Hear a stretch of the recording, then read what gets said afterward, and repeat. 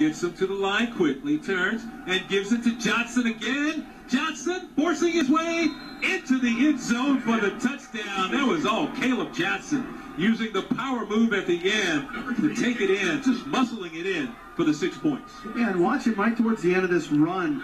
You know, his legs are turning is one thing, but he turns his body just to get away from the contact. Right here, then he just he's going sideways turning to get himself fully in. He doesn't care how it is. He just keeps moving and spinning and turning and got in the end zone. Great run. A great answer for the Delta Devils. Caleb Johnson with another touchdown on the year. He now has six.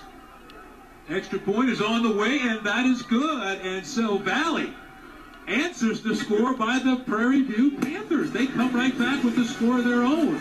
And with 7.21 to go, it's Mississippi Valley State out in front. 21 to 7 thanks to that touchdown by Johnson.